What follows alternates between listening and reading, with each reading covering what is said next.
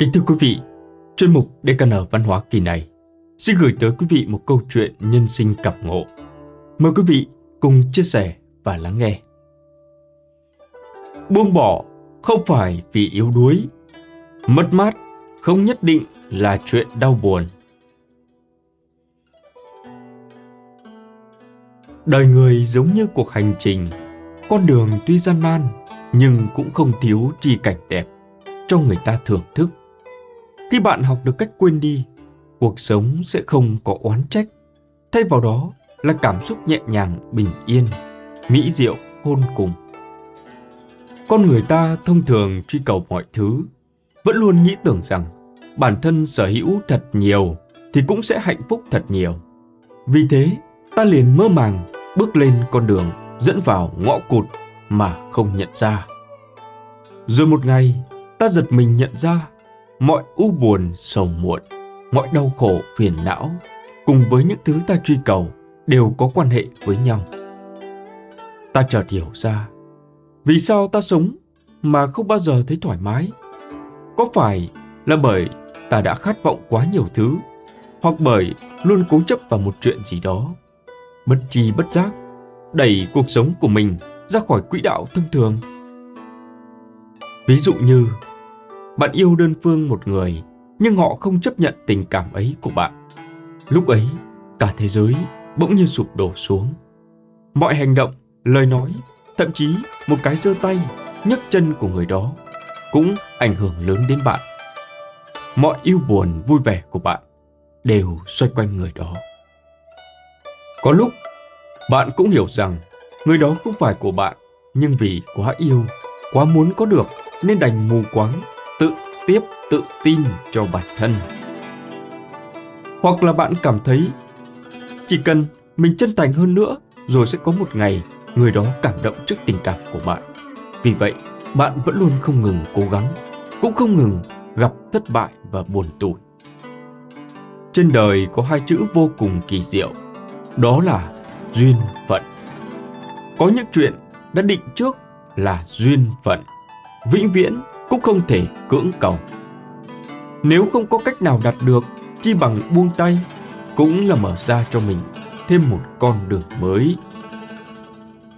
Mọi con đường đều dẫn đến thành Rome. Mọi điều người ta truy cầu cũng đều là để có được hai chữ hạnh phúc. Vậy rốt cuộc thì hạnh phúc ấy thực ra là gì? Ta luôn có hai sự lựa chọn. Chọn giữ lấy hay chọn buông tay. Nhưng cũng lại luôn khát vọng có được thứ mình muốn. Dù có nhiều khi sự lựa chọn ấy mang đến thật nhiều đau khổ. Ta cũng thường quên mất rằng mình vẫn còn một sự lựa chọn khác nữa. Khi ta hiểu được ý nghĩa chân chính của hai chữ buông bỏ, cũng là lúc ngộ được ý nghĩa tuyệt hảo của câu mà cổ nhân thường hay nói. Thất chi Đông Ngung, Thu Chi tan Du. Đông Ngung là chỉ nơi mặt trời mọc, còn tan Du là chỉ lúc mặt trời lặn. Câu này có thể hiểu đại ý là mất bên đông, được bên tây. Tuy mất cái này nhưng lại được cái khác. Nhìn rộng ra, thất bại ở một phương diện nào đó, cuối cùng lại là thành tựu ở một điểm khác. Chỉ là ta nhất thời chưa thấy được mà thôi. Hiểu được ý nghĩa chân chính của buông bỏ là lúc ta học được cách bình tâm mà quan sát sự việc, cảm nhận được vẻ đẹp rộng lớn của thế giới này. Đó chính là lúc ta lĩnh hội được một nội tâm bình lặng như nước, hiểu được ý nghĩa hai chữ hạnh phúc mà ta vẫn hằng truy cầu. Điều gì nên buông bỏ? Buông bỏ nỗi đau mà thất tình mang đến để xuống oán hận khi phải chịu khuất nhục.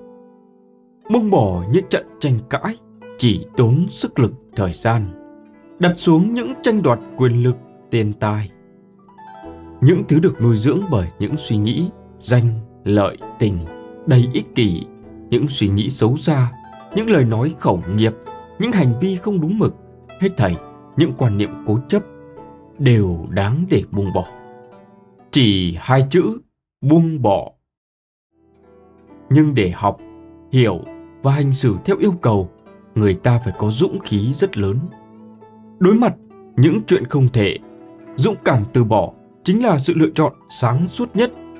Bởi khi đó, ta sẽ hiểu được rằng những vấp ngã kia chính là cơ hội mở ra cho ta một cuộc sống mới, ung dung hơn, bao dung hơn và sáng suốt hơn. Buông bỏ không phải là hèn nhát, không dám đối mặt, mà thật ra là sự dũng cảm mạnh mẽ nhất. Con người sống trên đời, ai mà không một lần chịu tổn thương, chỉ là mỗi người một con đường khác nhau, tổn thương cũng bất đồng. Nhưng một người chưa gặp thử thách không có nghĩa là con đường vị ấy đi sau này sẽ mãi êm đềm như thế. Cho dù có rất nhiều chuyện bạn muốn quên nó đi, nhưng kỳ thực nếu không có nó, con người bạn sẽ không được tôi luyện. Đó là những bài học quý giá giúp chúng ta trưởng thành hơn.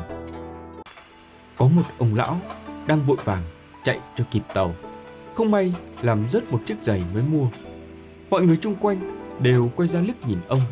Không ai ngờ được ông lão ấy liền ném chiếc giày còn lại ra ngoài cửa sổ, khiến cho tất cả mọi người đều vô cùng kinh ngạc.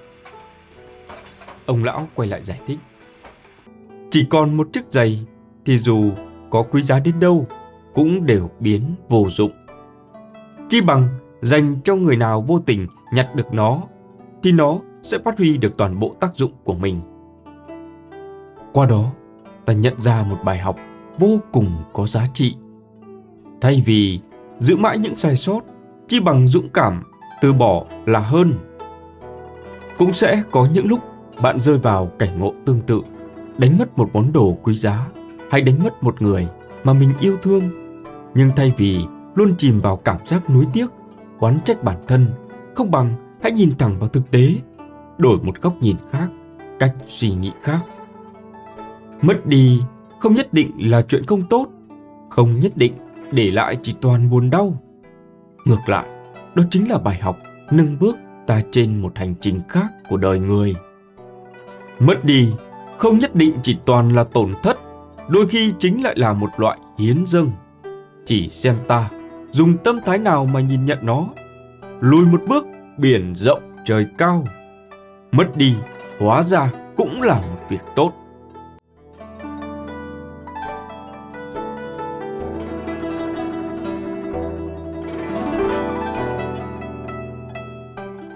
Thưa quý vị, chuyên mục DKN Văn hóa hôm nay xin kết thúc tại đây.